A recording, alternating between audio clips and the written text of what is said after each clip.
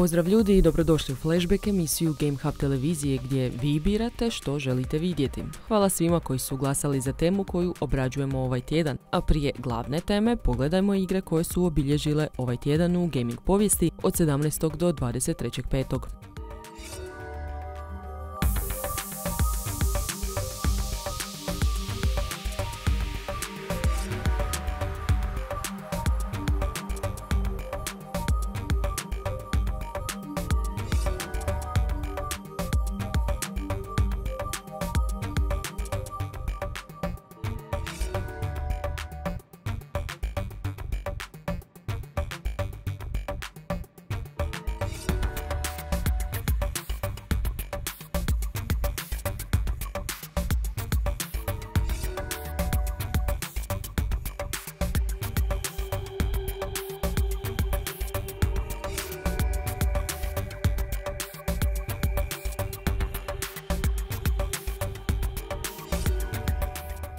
22.5.1998. godine Epic Mega Games izbacio je prvu igru koja je koristila danas legendarni Unreal Engine, isto imeni Unreal. Iako zanimljiv naslov sam po sebi, Unrealov pravi značaj je kao prvi nastavak u franšizi koja nam je donijela možda najznačajniji multiplayer shooter ranih 2000, Unreal Tournament. Te engine na kojem su uz doslovno stotine drugih naslova napravljeni Gears of War, PUBG, Fortnite, Mass Effect i Arkham serijal.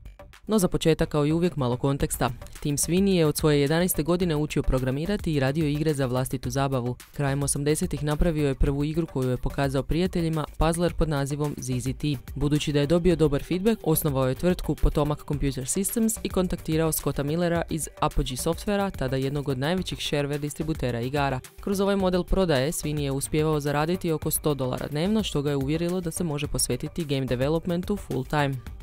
Prvi korak je bio pronaći ime koje bi bolje odražavalo Svinijevu viziju tvrtke. Odlučio se za Epic Mega Games, koji je trebao odražavati da se radi o jako ozbiljnoj velikoj kompaniji, iako je on sam bio jedini zaposlenik u to vrijeme. Ubrzo je skupio mali tim ljudi koji je uključivao bivšeg zaposlenika ID softvera Marka Reina. Epic je u sljedećih pet godina narastao na 20 zaposlenika i izbacio 20 igara, većinom izdanih kroz shareware model. Jedna od tih igara Epic Pinball postala je njihov prvi bestseller.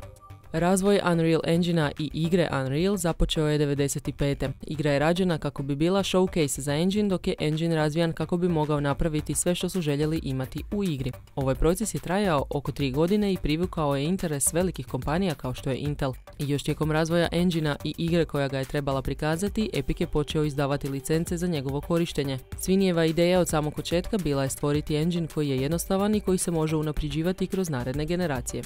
Igra Unreal izašla je 22.5.1998. godine za Windows PC i par mjeseci kasnije za macOS. Priča je pratila zatvorenika čiji se svemirski brod sruši na nepoznati planet. Zatvorenik susreće podjavljenu rasu zemaljaca koje su okupili tehnološki nadmoćni reptili, a cilj mu postaje osloboditi ih od okupacije i pokušati pobjeći s njihovog planeta. Ova priča se nastavlja u ekspanziji Return to the Pale, koju je razvio drugi studio Legend Entertainment. Recenzije po izlasku bile su vrlo pozitivne s naglaskom na grafiku, gameplay, AI neprijatelja i atmosferu, dok je nešto kritika dobio neispoliran multiplayer. Igra se je dobro prodavala i konstantno bila pri vrhu popisa najprodavanijih igara tog perioda, makar je imala taj peh da je samo mjesec dana ranije izašao StarCraft koji je dominirao top listama. Iako na kraju godine nije ušao u top 10 najprodavanijih igara 98. Unreal je Epicu privredio oko 11 milijuna dolara, a ukupno je prodan u oko 1,5 milijuna primjeraka. Nakon uspjeha Unreala Epic Mega Games je skratio ime u samo Epic Games i preselio u veći prostor. Već iduće godine izbacili su nastavak u Unreal franšizi pod imenom Unreal Tournament. Igra je ovaj puta bila strukturirana kao arena shooter s naglaskom na multiplayer preko interneta ili lana. Unreal Tournament dobio je odlične reviewove i brojne nagrade po izlasku, a prodao se u preko 2 milijuna primjeraka samo u prvoj godini. Igra je ubrzo postala jedan od najgranijih multiplayer naslova tog perioda. Unreal Tournament portan je za PlayStation 2 i Sega Dreamcast, no ovi portovi su bili dosta ograničeni u odnosu na PC i Mac verzije. Epic je sljedećih nekoliko godina fokus stavio na razvoj Unreal Engine i izbacivanje novih nastavaka Unreal Tournamenta. Tako su uslijedili nastavci kao što su Unreal Tournament 2003, Unreal Championship, Unreal Tournament 2004, Championship 2 i Unreal Tournament 3. Usto studio je 2003. izbacio nastavak originalnog Unreala pod nazivom Unreal 2 The Awakening. Epic je 2006. godine prebacio fokus sa PC gaminga na konzole i iste godine izbacio prvi nastavak u svom Gears of War serijalu. Igra je napravljena na trećoj generaciji Unreal Engine. Epic je proizveo još tri nastavka Gears serijala prije nego što je Xbox Game Studio otkupio prava na serijal 2014. godine. Prava na ovaj uspješan serijal su prodali zbog još jednog shifta u fokusu kompanije koji se dogodio oko 2012. godine, kada je kineski Tencent otkupio 40% udjela u Epiku, a studio se prebacio na Game as a Service model. Epic se u tom trenutku vrednovao na oko 825 milijuna dolara. Sada već na četvrtoj generaciji Unreal Engine Epic je najavio izlazak nove igre pod nazivom Fortnite. Jedan od ciljeva ovog naslova bio je da u skladu s novim fokusom kompanije na igre kao servis služi kao mjesto gdje će Epic testirati nove mehanike, feature i modele prodaje ili pretplate. U skladu s tim planirano je da ovaj naslov ima plaćeni early access, ali da s vremenom postane free to play. Kada je početkom 2017. izašao Early Access za Player Unknowns Battlegrounds, u Epiku su odlučili napraviti i sličan mod za Fortnite koji je izašao samo 4 mjeseca kasnije pod imenom Fortnite Battle Royale. Četvrta generacija Unreal Engine trebala je donijeti crowdsourcani nastavak Unreal Tournamenta prvi od 2007. godine. Nažalost, projekt je zaustavljen krajem 2017. a ubrzo nakon toga su iz Epika potvrdili da je igra na čekanju, a tim prebačen na razvoj Fortnite-a. Unreal Engine 5 najavljen je u petom mjesecu 2020. a očekuje se da će developerima biti dostupan krajem 2021. godine.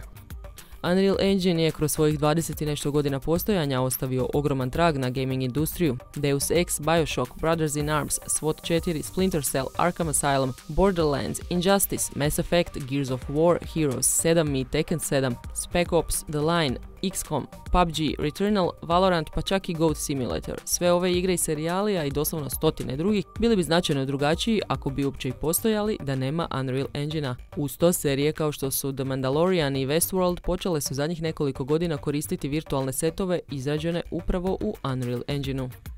Igra Unreal jednim je dijelom stvorena kako bi pokazala što prva generacija Unreal Engine može. Licenciranje tog engina i njegovih narednih generacija bio je veliki dio poslovnog uspjeha Epica u zadnjih 25 godina. Danas je posao demonstriranja što Unreal Engine može napraviti preuzeo Fortnite. Ne samo to, već s preko 350 milijuna registriranih akauntova Epic ima mogućnost na ogromnim brojem igrača isprobati feature i mehanike koje planira implementirati u nove verzije engina. I ovdje u stvari nalazimo jednu jako zanimljivu slučajnost koja vjerojatno to i nije. Ove dvije igre koliko god i godina dijelilo i koliko god bile različite služe istoj svrsi, demonstrirati moć Unreal Engine-a. Možda slučajno, a možda i ne, obi su postale najpopularniji multiplayer naslov svog vremena. Jedino što se u stvari fundamentalno promijenilo je što je u razmaku od tih 20 godina Epic od tima od 20 ljudi narastao na tvrtku koja danas vrijedi 28 milijardi dolara. A sada ste na redu vi. Slijede teme od kojih ćemo jednu odabrati za obraditi u sljedećoj epizodi. Na vama je da nam kažete za koju mislite da je najvažnija.